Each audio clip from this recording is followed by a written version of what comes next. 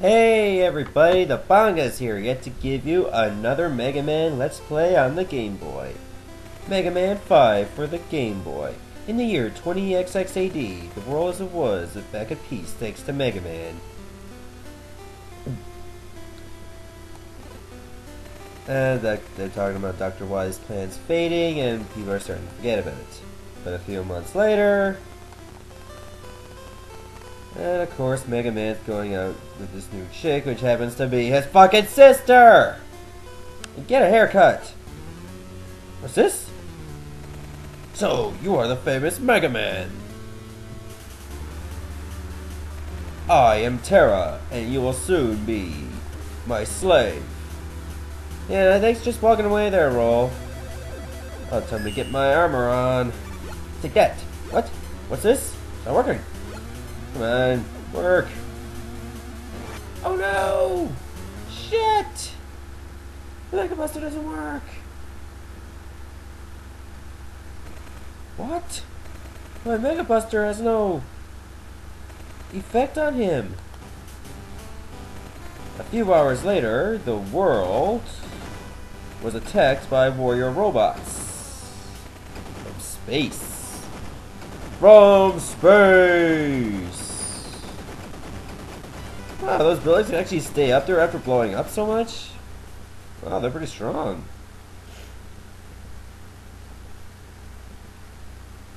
Oh yeah, they stole that from Mega Man 4. Where am I?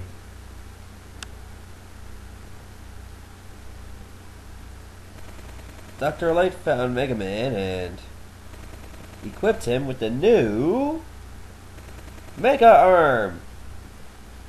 The most powerful weapon ever devised for masturbation. I mean, uh, firing at enemies. Why had the Stardroids come? Here.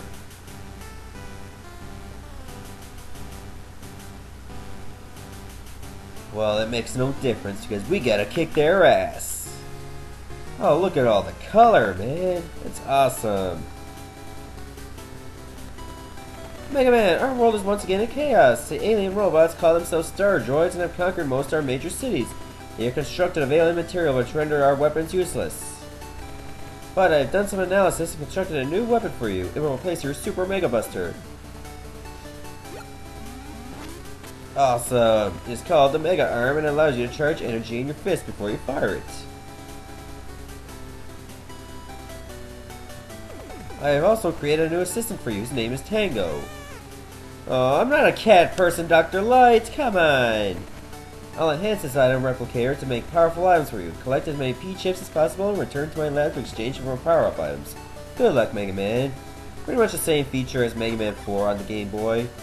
But now we got completely different enemies to take on. Exclusive to this game. Uh, let's go to Neptune first. He looks like a wily little freak.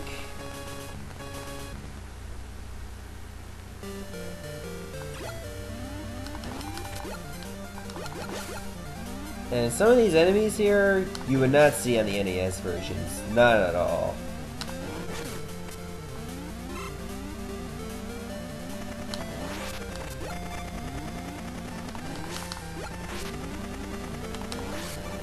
There's also this hidden feature, just like the Mega Man 4 version, that if you failed repeatedly before defeating a Robot Master and used up a lot of continues, Dr. Light would automatically send you to his lab and give you a new power-up, which pretty much maxes out your attack. But I consider it cheap, so we're not going to do it like that.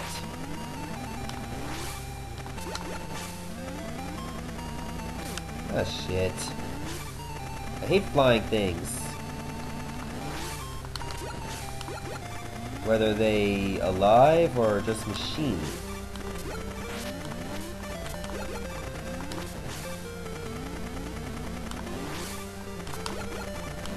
Huh, finally! That one was taking too much time.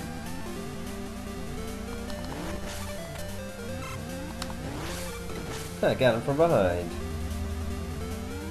Oh, now let's actually get in that ship.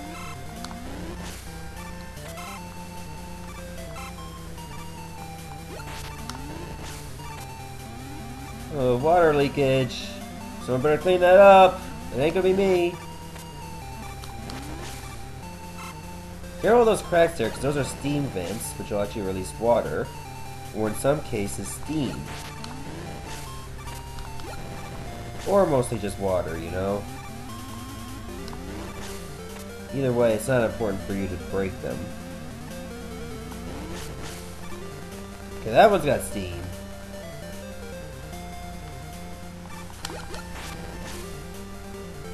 And everybody knows steam is not good for Mega Man's armor.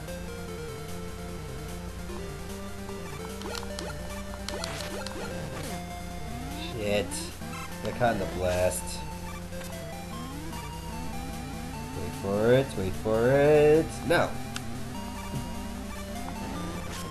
This is actually the first Mega Man game portable that I actually played and beaten. The other one that I actually played on a console was Mega Man 2 for the Game Boy. And it was really good, I like that. But I like this one a lot better. Because it's something completely new and original.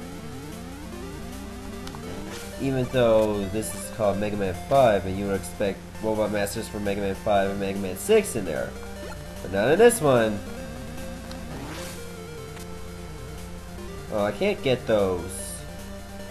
I think I need a new power-up just to be able to do that. That's right, your Mega Arm has upgrades which you can buy. Ones that are going to probably like damage your opponents even more, and some that can allow you to reach for items all the way in the back. Oh man, I need some energy real bad.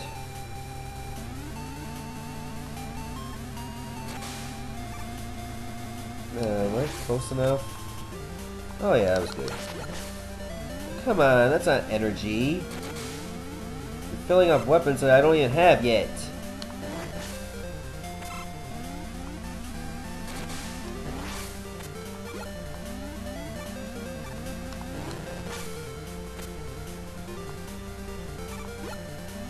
Am I near the boss yet? Yep, I am. But if I die here, I'll die on purpose, because then I'll face him on full health. But Neptune's not that hard, so let's take him on.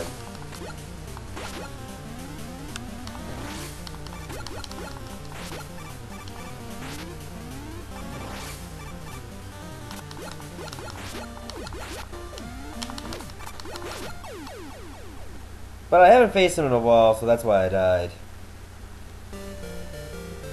Okay, let's do this again, this time on full health.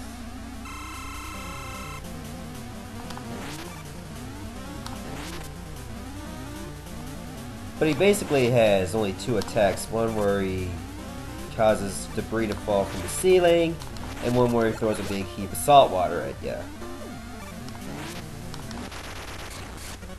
And of course we beat him, and now we're gonna get his power up. Uh, let's see what we got.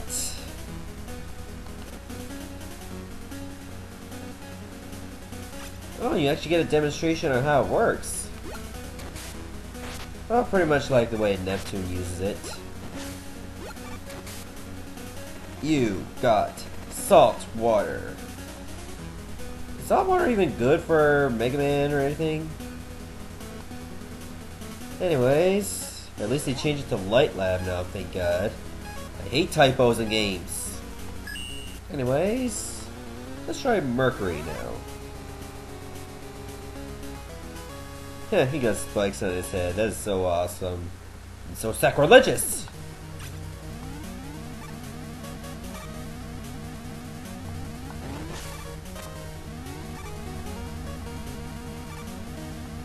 This one will be a little bit tricky because of the conveyor belts.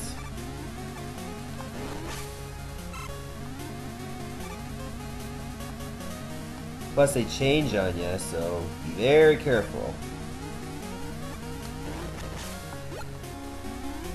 Lag. Uh, that's pretty much the game's lag anyway, nothing to do with the uh, recorder.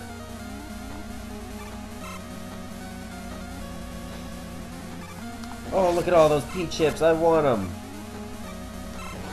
Let's see how many I got. Oh, 48, that's not too bad. But when I get to the next screen, I'm going to show you... Uh, no. Actually, I might as well show you now what Tango can do.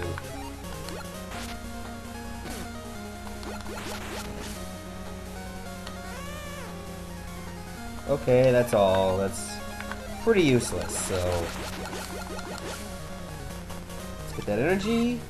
And we are going to stop right here. I think that's enough progress for now, so stay tuned for part 2. This is the Bangaa signing off saying goodbye and see you all later.